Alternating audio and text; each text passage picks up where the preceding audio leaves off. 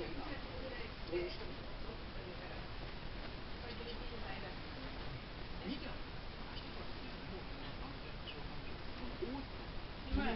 11時半前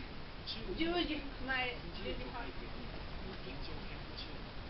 うん、それで昨日遅かったからですね。11時ぐらい。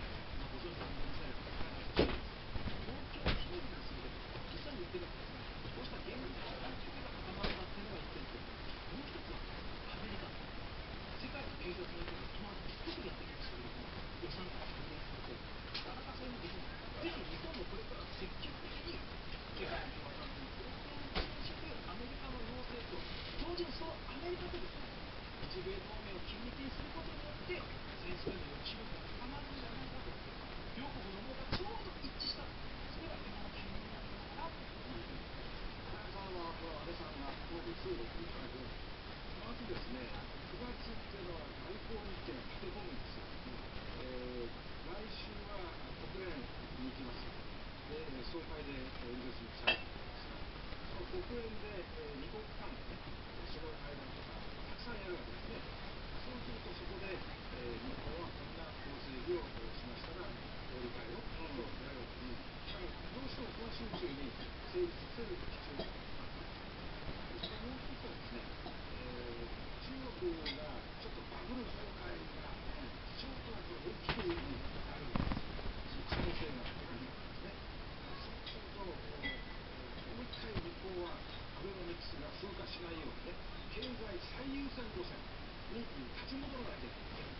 どうしても根本対中に